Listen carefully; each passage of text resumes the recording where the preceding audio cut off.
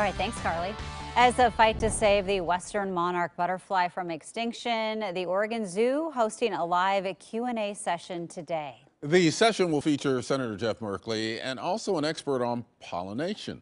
It will be hosted by Bob Lee, the Oregon Zoo's general curator, and he joins us live now on AM Extra. Good morning, Bob.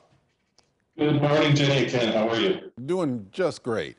Uh, let's talk about the monarch butterfly and why it's so important to our environment.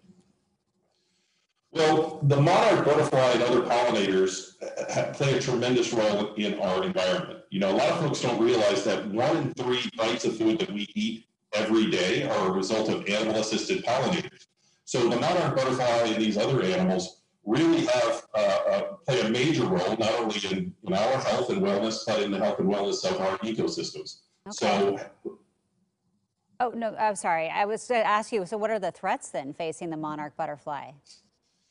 Well, the largest threat is from climate change uh, and pesticides. So um, as we're seeing our environment change around us, you can imagine these small animals that are so dependent on the environment that they're the first ones that are going to be impacted by it. And we're already seeing that there's a 99.9% decline in the Western monarch butterfly population. So it's a staggering number when we think about how many of these animals have already been impacted. So how can we save this iconic pollinator? What can we do?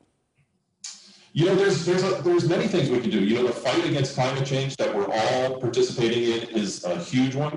Um, monitoring what kind of pesticides we use and reducing the use of those. But then some of the actions you can take in your own backyard is creating little micro environments for these guys.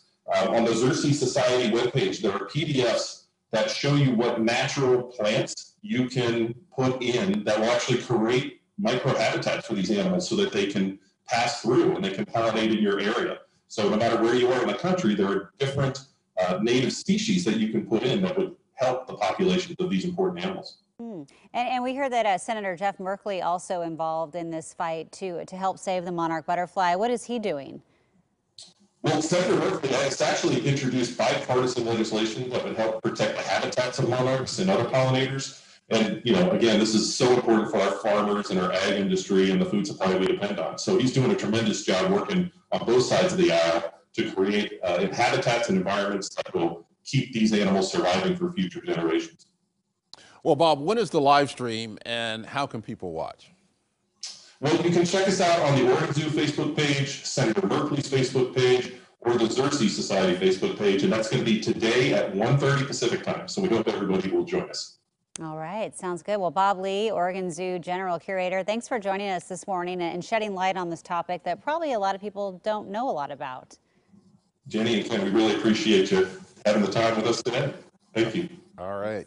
Thanks again. Uh, we will have a link to the live stream and everything you need to know about the Q&A session on KOIN.com.